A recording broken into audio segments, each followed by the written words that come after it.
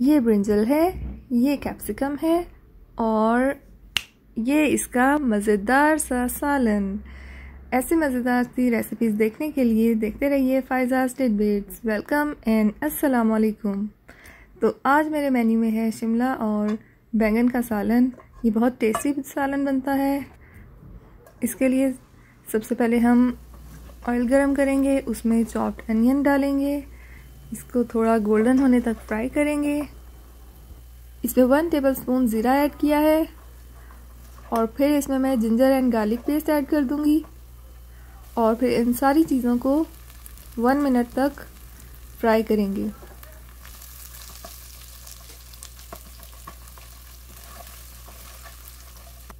अब इसमें tomato paste या चॉप टमाटो कह लें वो ऐड किया है मैंने।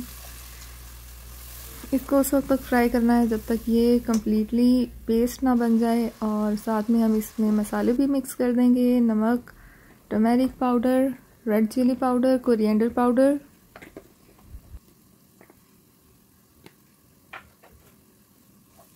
इन सब चीज़ों को अच्छी तरह से मिक्स करके थोड़ा सा फ्राई करेंगे और फिर सारे में मिक्स करके इसको कवर करके रख देंगे ताकि टमाटो जो है वो अच्छी तरह से गल जाए। सॉफ्ट हो जाए और हमारा पेस्ट तैयार हो जाए। पेस्ट तैयार हो गया है। अब इसमें चॉप्ड ब्रिंजल जो मैंने कट करके रखे हुए थे, वो इसमें अच्छी तरह से मिक्स करने हैं और फिर इसको कवर कर देंगे।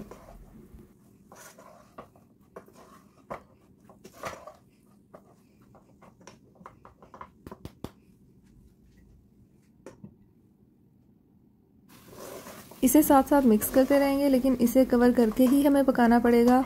और साथ साथ हम चेक करते रहेंगे, अगर ये ड्राई फील हो तो हम इसमें थोड़ा सा पानी ऐड कर सकते हैं। जैसे मैंने इसमें पानी ऐड किया है, और फिर से इसको कवर कर देंगे। जब ब्रिंजल थोड़ा सा सॉफ्ट हो जाएगा, तब हम इसमें कैप्सिकम ऐड कर देंगे।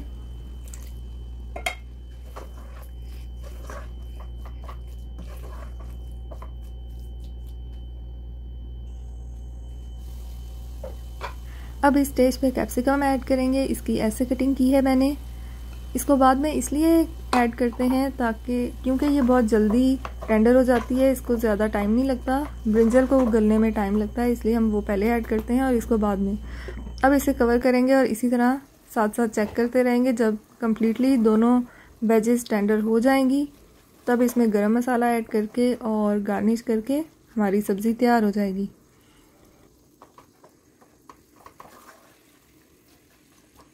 इसमें साबुत मसाला कोई भी ऐड नहीं किया, ज़ीरा और धनिया के अलावा। इसलिए इसमें थोड़ा सा मैं गरम मसाला भी ऐड कर दूँगी। और थोड़ा सा इसमें one around one tablespoon olive oil add किया है मैंने। इसको फिर से मिक्स करके कवर कर देंगे। और ये हमारी सब्ज़ी तकरीबन रेडी है। बस इसमें अब हम इसे चेक कर लेंगे। नमक वगैरह अगर कम ज़्यादा हो तो हम ऐड कर सकते हैं। चिली कम हो तो आप ग्रीन चिली ऐड कर सकते हैं। इसको गरम मसाला स्प्रिंकल किया है। मैं थोड़ी सी ग्रीन चिली और फ्रेश कोरिएंडर इस पर गार्निश करूँगी। और फिर इसको वन मिनट के लिए या फ्यू सेकंड्स के लिए कवर कर देंगे। एंड दैट्स इट सब्ज़ी हमारी बिल्कुल रेडी है। इसको मैं डिश आउट करती हूँ। ये देखिए, माशाल्लाह हमारी सब्ज़ी तैयार है, ये बहुत टेस्टी बनती है। आप भी ज़रूर ट्राई कीजिएगा और don't forget to like, subscribe and comment.